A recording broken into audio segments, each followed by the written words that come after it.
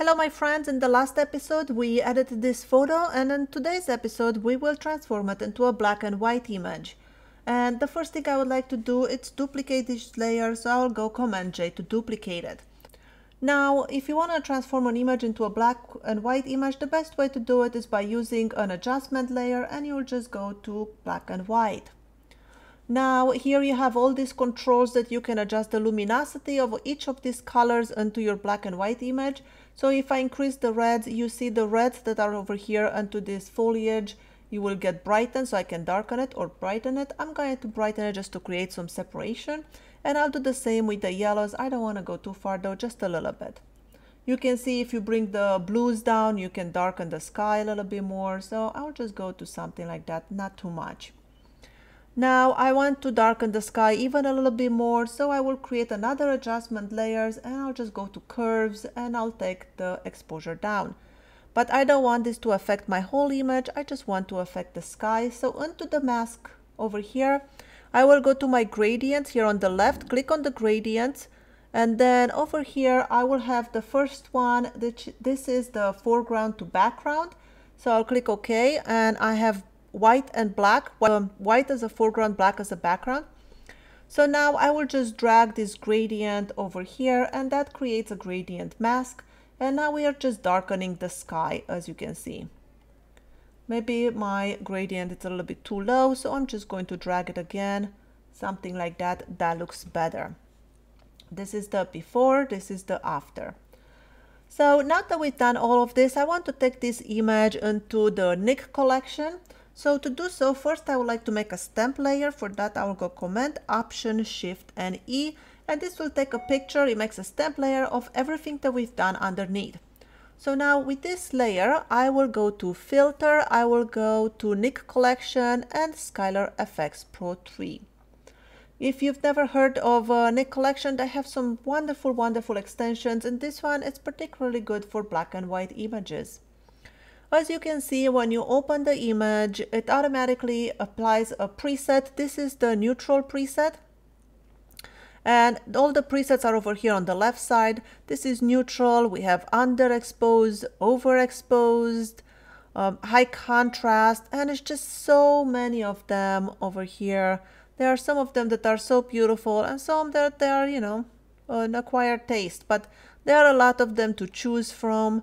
As you can see, I am scrolling through them and this one is kind of neat actually, very bright but neat.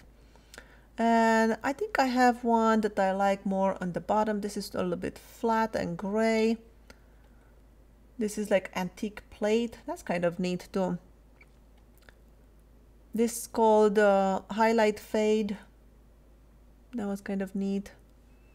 And there are just so many to choose from. Let's see which one will work good as a starting point for our image.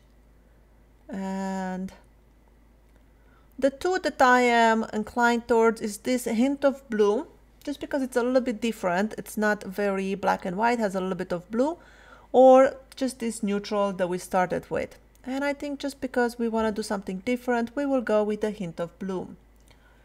So this is our starting point. We have a preset, but now we can still, you know, change it over here on the right where we have all of our controls. So you see we can make it brighter, we can make it darker. We have all these controls. If you want to reset a control point, just double click on it and we'll reset it to zero. So let's say if we want to bring the highlights down maybe a little bit, maybe we want to increase the midtones. Uh, two of my favorite sliders and into Nik Efex is the soft contrast and dynamic brightness. And I like to bring those a little bit to the left. So soft contrast, if I move it to the left, it just kind of opens up the image a little bit. And then dynamic brightness, I will just darken it a little bit, something like that. And I feel like that is just a nice touch. Now you have all kinds of controls here. But the one thing that the Nik Efex is uh, known for is their control points. And you can see here it says control points and we have this little point. If I click on it, I can go click anywhere on my image and that creates a control point. Now this bar that is on the right side, I can make the control point bigger or smaller. So let's say I want to make it this big. What does that mean? Well, that means I have a mask in here now, so I can have all these controls now to change whatever setting is in, within this mask. If I want to see my mask, I can go over here where it says control point one and click on the mask. And now we're seeing this is what is being affected with my control point. So as you can see, the program is looking around and try to pick the same tones or colors if you're working with color images. And you see like if I just want to alter the trees, I could go here and put a small control point and just work with the trees or, you know, if you're working with the clouds or whatever. But for this image, I will just put it on these piers and let's see, I need to make it a little bit bigger, something like that. And what I want to do to this pier is to add a little bit of structure. I'm gonna go back to the mask to disable this so we can see the image. And now I will just add some structure to that pier just to, you know, make it stand out a little bit. You see, you can add a lot of structure and that's a little bit too much for me. But just like that, I will just add about that much structure to this one. Now, if I want to duplicate this control point so you can add to the rest of the piers, an easy way to do that is just hold down option and then drag it and move it in a different place. And now it duplicated the same exact control point. And you can see now on this control point list, we have two of them. I can take this one, hold down option and put one over here. And now we have three of them. If you want to see the mask for all three of them combined, you can go over here to the top and just click on that. And now we are seeing everything that is being affected. So I am going to disable that for now so we can see our image. And now we added structure to these three piers over here. And that is good because I want my uh, viewer's eye to go here in the middle. So I feel like that is a good touch.